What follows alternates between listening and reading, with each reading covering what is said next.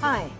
We spoke a little bit the other day about the Word and heard a little bit about that, and we want to kind of build on that today.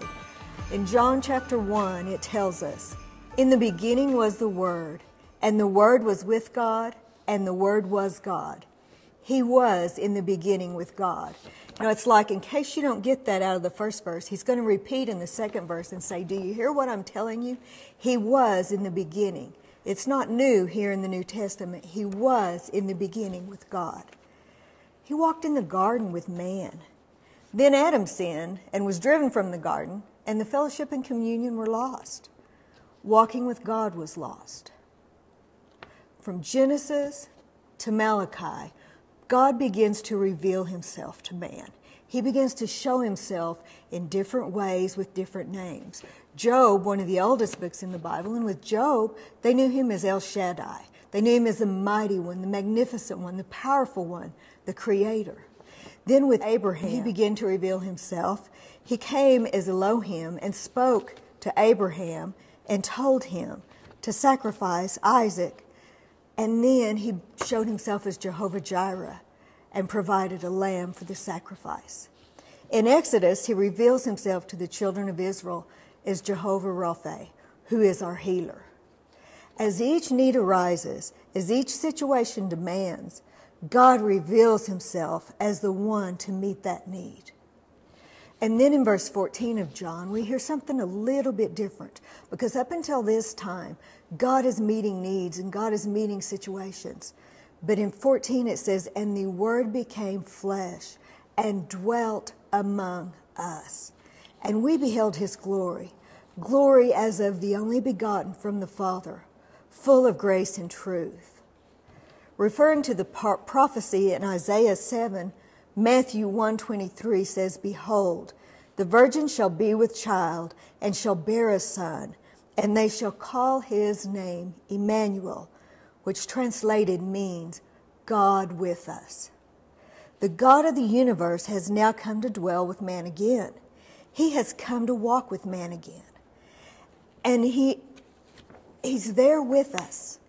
And he's walking with us there. But it's not long before he begins to try to explain to his disciples and to prepare them for the fact that he's leaving again. And what is it he says to them? He says in John 14, And I will ask the Father, and he will give you another, which means another of the same sort, helper the King James calls it a comforter. And he says that he may be with you forever. Verse 17 says, That is the Spirit of truth, whom the world cannot receive, because it does not behold him or know him. But you know him, because he abides with you and will be in you. In John 16, verse 7, he says it to him like this But I tell you the truth. It is to your advantage that I go away. For if I do not go away, the Helper shall not come to you. But if I go away, I will send him to you.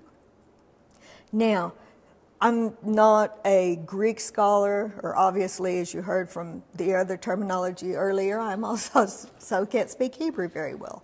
But the Vines tells us that this word for helper or comforter here is called parakletos. Para means to walk alongside. It's where we get the word parallel, where we've got two lines running. It was used in a court of justice to denote one who pleads another's cause, an intercessor or an advocate. So Jesus is telling them, I'm going to send another to walk alongside with you, one that's just like me. It's better for you. Right now, I'm walking beside you, but He's going to be with you and in you. Isaiah chapter 40 tells us in verse 28 Do you not know? Have you not heard? The everlasting God, the Lord, the creator of the ends of the earth, does not grow weary or become tired. His understanding is inscrutable. He gives strength to the weary, and to him who lacks might, he increases power. Though youths grow weary and tired, and vigorous young men stumble badly, yet those who wait for the Lord. Let's stop right there for a second. This word wait is not like you're sitting there drumming your hands and waiting on God. It's the idea of braiding hair. It's the idea of plaiting hair. You know, the Bible tells us a three cord strand is not quickly broken. So he's saying, as we become braided together with him, those that wait for the Lord will gain new strength. They will mount up with wings like eagles. They will run and not get tired, and they will walk and not become weary. Now, that's not just telling us that God's just going to hand us some strength and send us on our own. It's a matter of us being one with Him. God's desire isn't just to get us to heaven someday. He wants fellowship with us. He wants relationship with us now. He wants to walk with us. He wants to be one with us, to live our lives with us on a daily basis.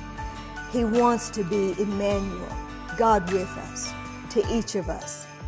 This Christmas season, as we celebrate the birth of Jesus, let's truly make him Emmanuel in our lives.